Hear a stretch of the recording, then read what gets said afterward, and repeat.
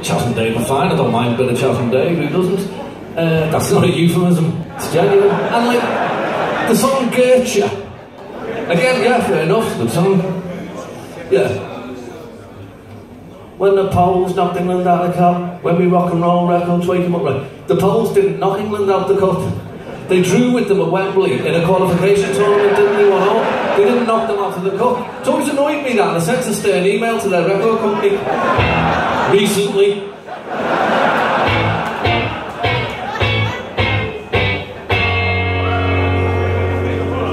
Oh God.